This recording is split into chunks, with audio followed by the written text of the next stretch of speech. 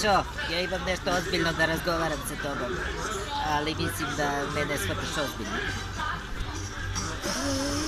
Некако не могу да се отресим тог осеќаја да ме не сваташ озбилно ништа, а имам нешто озбилно да ти кажем, да, да. Баш бих тeo нешто озбилно да поразговарам. Ова е боле да го текила. Ќе да пробаш.